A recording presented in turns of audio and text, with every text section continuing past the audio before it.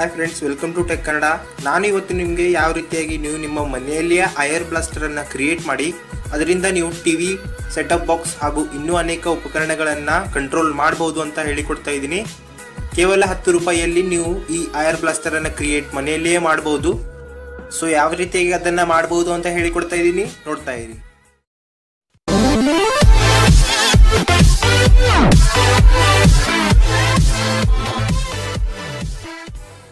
So friends ಎಲ್ಲಕ್ಕೂ ಮೊದಲು ನಿಮಗೆ ಈ ರೀತಿಯಾದ ಒಂದು ಐರ್ ಬ್ಲಾಸ್ಟರನ್ನು ಕ್ರಿಯೇಟ್ ಮಾಡಬೇಕಾಗುತ್ತೆ.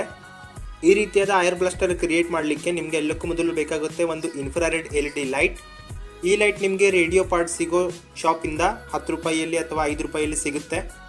ಅಥವಾ ನೀವು ಇದನ್ನು ನಿಮ್ಮ ಹಳೆಯ ಹಾಳಾಗಿರೋ ರಿಮೋಟಿಂದನೂ ತೆಗಿಬೋದು.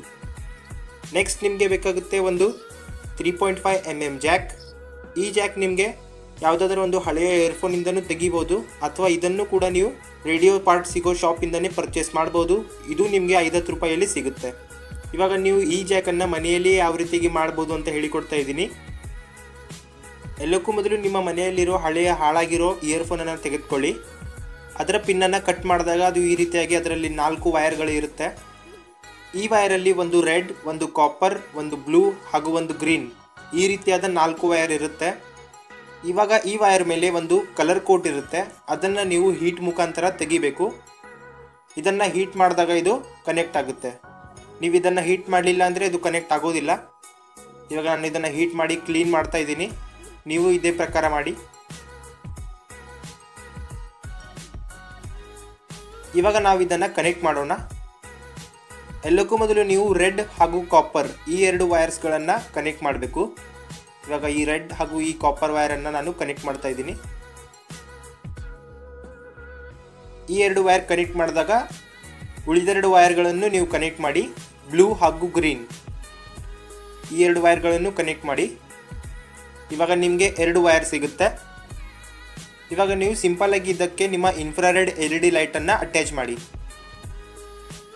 ಇವಾಗ ಅಟ್ಯಾಚ್ ಮಾಡಿದಾಗ ಇದು ಈ ರೀತಿಯಾಗಿ ಕಾಣುತ್ತೆ.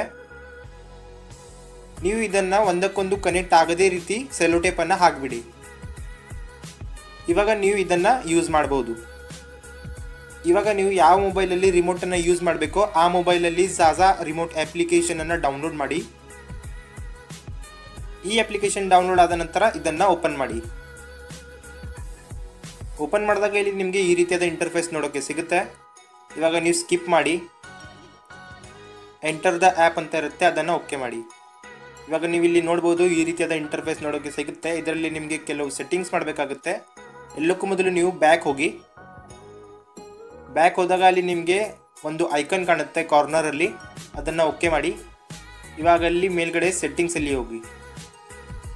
ಇವಾಗ ಅಲ್ಲಿ ಅಡ್ವಾನ್ಸ್ ಸೆಟ್ಟಿಂಗ್ ಅಂತ ಆಪ್ಷನ್ ಇರುತ್ತೆ. ಅದನ್ನು ಓಪನ್ ಮಾಡಿ.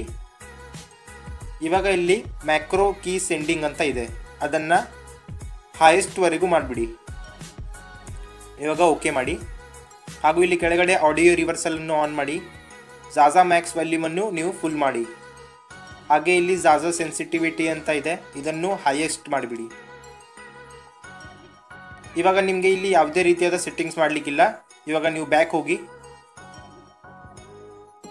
ಇವಾಗ ನೀವು ಕ್ರಿಯೇಟ್ ಮಾಡಿರೋ ಐರ್ ಬ್ಲಾಸ್ಟರನ್ನು ನಿಮ್ಮ ಮೊಬೈಲಲ್ಲಿ ಕನೆಕ್ಟ್ ಮಾಡಿ. ಇವಾಗ ಇಲ್ಲಿ ಆ್ಯಡ್ ರಿಮೋಟ್ ಮೇಲೆ ಕ್ಲಿಕ್ ಮಾಡಿ.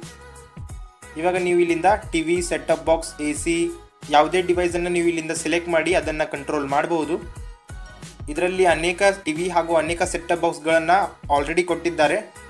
ಒಂದು ವೇಳೆ ಇರಲಿಲ್ಲ ಅಂದರೂ ನೀವು ನೆಟ್ಟಿಂದ ಡೌನ್ಲೋಡ್ ಮಾಡ್ಬೋದು. ಇವಾಗ ನಾನು ನನ್ನ ಟಿ ವಿಯನ್ನು ಸೆಲೆಕ್ಟ್ ಮಾಡಿದ್ದೀನಿ. ಇವಾಗ ನಾನು ಇದನ್ನು ಟೆಸ್ಟ್ ಮಾಡಿ ನಿಮಗೆ ತೋರಿಸ್ತಾ ಇದ್ದೀನಿ. ನೀವು ನೋಡ್ಬೋದು ಇಲ್ಲಿ ತುಂಬ ಆಗಿ ವರ್ಕ್ ಮಾಡ್ತಾ ಇದೆ ಇದು. ನಾನು ವಾಲ್ಯೂಮನ್ನು ಕಡಿಮೆ ಮಾಡ್ತಾ ಇದ್ದೀನಿ. ಟಿ ವಿಯಲ್ಲಿಯೂ ಕಡಿಮೆ ಆಗ್ತಾ ಇದೆ. ತುಂಬ ಸ್ಮೂತಾಗಿ ಇದು ವರ್ಕ್ ಮಾಡ್ತಾ ಇದೆ, ನೀವು ನೋಡ್ಬೋದು ಇಲ್ಲಿ. ಹಾಗೆಯೇ ನೀವು ಇಲ್ಲಿಂದ ಸೆಟಪ್ ಬಾಕ್ಸನ್ನು ಆ್ಯಡ್ ಮಾಡ್ಬೋದು. ಈ ರಿಮೋಟಿಂದ ನೀವು ನಿಮ್ಮ ಸೆಟಪ್ ಬಾಕ್ಸನ್ನು ಕಂಟ್ರೋಲ್ ಮಾಡ್ಬೋದು. ಇವಾಗ ನೋಡ್ಬೋದು ನೀವು ಇಲ್ಲಿ, ನಾನು ಸೆಟಪ್ ಬಾಕ್ಸನ್ನು ಕಂಟ್ರೋಲ್ ಮಾಡ್ತಾ ಇದ್ದೀನಿ. ಇದು ತುಂಬ ಸ್ಮೂತಾಗಿ ವರ್ಕ್ ಮಾಡ್ತಾ ಇದೆ. ಈ ರೀತಿಯಾಗಿ ಫ್ರೆಂಡ್ಸ್ ನೀವು ಆಂಡ್ರಾಯ್ಡ್ ಮೊಬೈಲ್ ಮುಖಾಂತರ ಯಾವುದೇ ರೀತಿಯಾದ ಉಪಕರಣಗಳನ್ನು ನಿಮ್ಮ ಮೊಬೈಲಿಂದನೇ ಕಂಟ್ರೋಲ್ ಮಾಡಬಹುದು ಈ ವಿಡಿಯೋ ನಿಮಗೆ ಇಷ್ಟ ಆದರೆ ಪ್ಲೀಸ್ ಲೈಕ್ ಮಾಡಿ ಕಮೆಂಟ್ ಮಾಡಿ ಶೇರ್ ಮಾಡಿ ಹಾಗೂ ಸಬ್ಸ್ಕ್ರೈಬ್ ಮಾಡೋದನ್ನು ಮರಿಬೇಡಿ.